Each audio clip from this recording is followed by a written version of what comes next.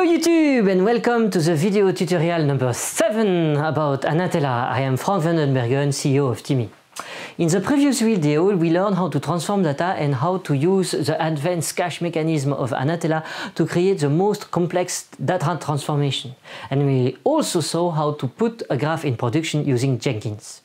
Let's now talk about how to organize your Anatella graph. We already saw that it's better to split our work into many small Anatella graphs, each little graph solving a different part of the problem, rather than creating one unique, gigantic graph where you can easily get lost. Actually, splitting your project in many different small graphs has many different advantages. First, it makes maintenance and support easier.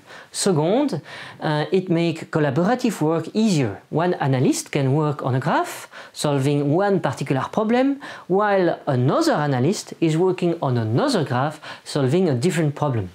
And third, it allows you to easily use a revision control tool such as the famous Git tool and Subversion tool. With a revision control tool, you can track all the different versions of your graph. This means that in case of a problem, you can always revert back to an older version of your graph. You can always see who changed uh, what's inside the graph. And this is possible because Anatella graphs are actually simple human readable text file. So revision control system for your graph is interesting because it also brings accountability. If one of your graph is broken, you can see who created the error and make him accountable for that. So let's now talk about how to organize your dataset. The first action that we did when we started our first example here was to create a working directory and put all our dataset file inside this directory. This way of working is okay if you are working alone or with a small amount of data. But if you are working inside a group of data scientists or, uh, or on a large amount of data, you might want to create a data lake. And the idea behind a data lake is quite simple. The idea is to give to all your analysts a direct and high-speed access to a set of curated and clean data dataset, so that they can play with all this data and find interesting stuff. So a data lake is characterized by two specific speed, two specific things high-speed data access and curated data. Let's now see how you can create such a data lake. So this is the typical basic setup that companies usually use when starting to work with TIMi. So you have basically three components here. You have your data sources, your uh, TIMi production server, and you have all the machines that are used by your data scientists. Inside this first infrastructure, the TIMi server not only contains your data lake, but it also contains Jenkins to run all the graphs that are in production. So typically, the data lake is a simple directory that contains many different data files. And these data files are used by all your data scientists to do their daily task, basically to answer various analytical questions using your data. To remind you, the idea behind a data lake is to get high-speed access to your data. So you'll store your data inside your data lake using a file format that is just as fast as possible.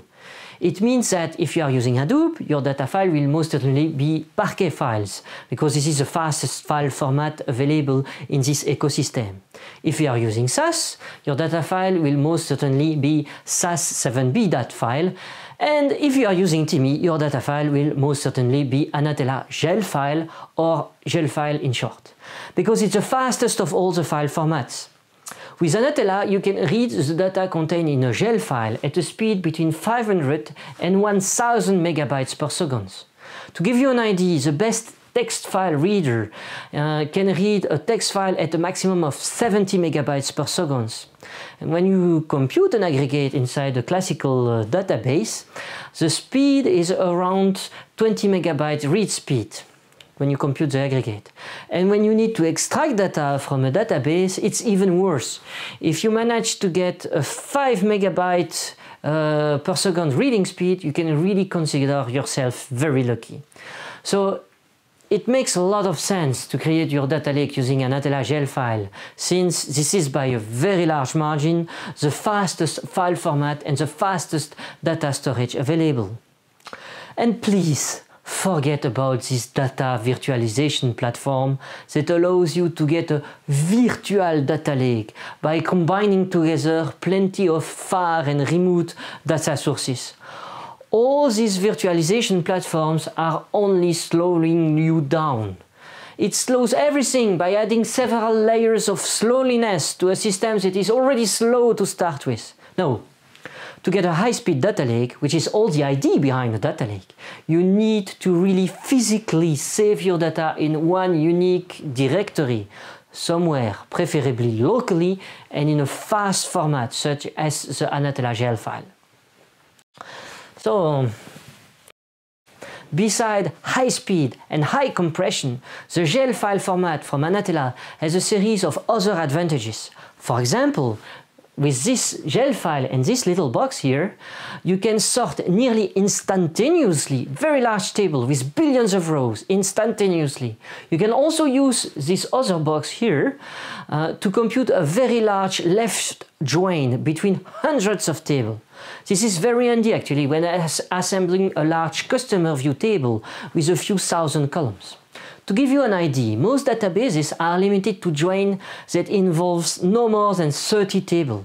But with Anatella and this GEL file format, the maximum number of tables inside the join is around 20,000 tables, not 30. Your analytical infrastructure should have the following properties. First and foremost, high-speed data access. Secondly, no lock-in situation. I know that many unethical companies are basically taking your data hostage and then you are just stuck in a horrible locking situation where these companies can empty your pocket as much as they want. Third point, there should be no price tag on each experiment, which is the opposite of cloud solution. Fourth point, there should be no restriction on the analyzed uh, dataset, no restriction of volume or on processing power.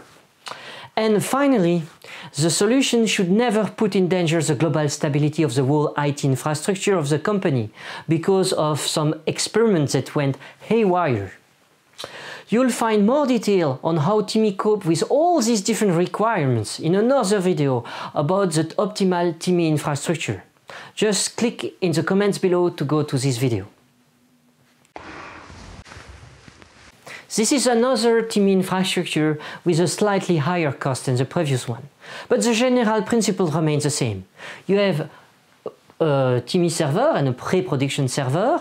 Uh, you also have the data sources and you have plenty of machines here that are useful for uh, the exploration phase. The exploration phase happens mostly inside this machine.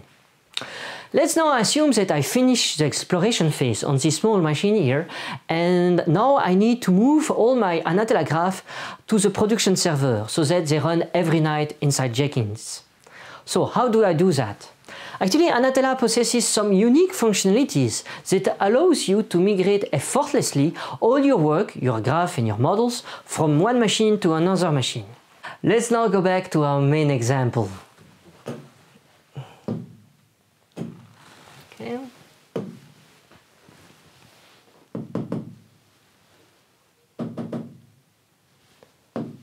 Okay. So to remind you, the objective was to create this small Excel file that illustrates the different education levels of the women population in the United States. To be able to run this graph, I need a connection to my data file just there. I need to be able to read the CSV file that contains the census income dataset. What has, what's happening if I decide to move my working directory in another location? possibly in a completely different computer. Will Anatella still be able to execute this graph properly? Or will I lose the connection to the census income dataset? Let's try. So I'll close that.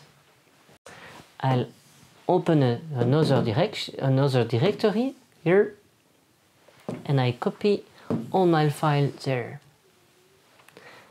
Now test, I'll now test if everything works. and everything run smoothly at the new location. Cool! Let's now give a little, a little bit more explanation about what just happened here.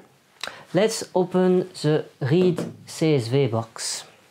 You see this colon character at the very beginning of the, of the file path. This means that our data file is located inside a subdirectory of the directory containing our .anatella file. When this is the case, Anatella stores the file path to the data file in a relative way. And the keyword to remember here is relative. Let's now move the census income dataset file inside another subdirectory named data. So I'll take census income here and I'll move it here in data. So I have to change the location to data census income.